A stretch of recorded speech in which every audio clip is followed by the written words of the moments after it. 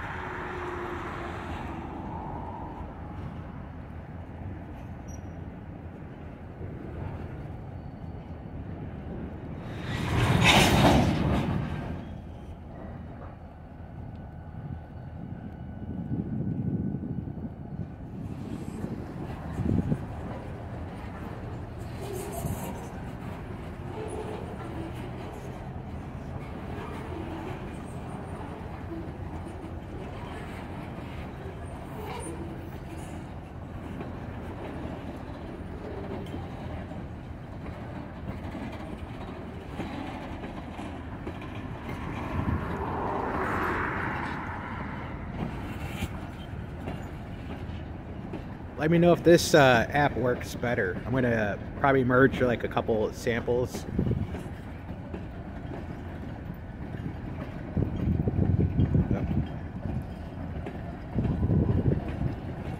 There's a little viewing portal cut into the fence here. It's like really small. It's like maybe seven by four or five. So it's hard to get an angle with the smartphone in here.